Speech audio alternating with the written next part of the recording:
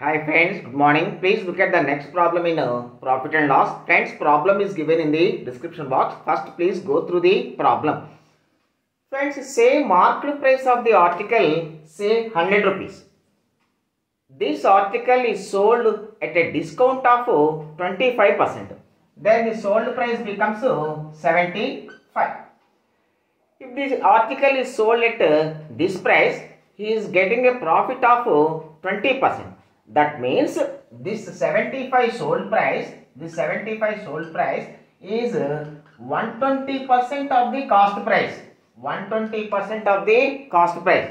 So then cost price is equal to 75 into 100 by 120. This is cost price.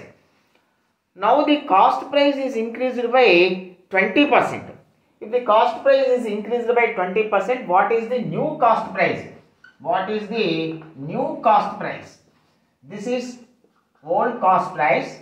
Now the cost price is uh, increased by 20%. So the new cost price becomes uh, 120 by 100. So the new cost price is equal to 75 rupees. Now he is getting a profit of 8%. So now the question is uh, what is the discount percent? What is the discount percent to gain 8% profit? So 8% profit means uh, sold price becomes sold price becomes cost price into 108 by 100.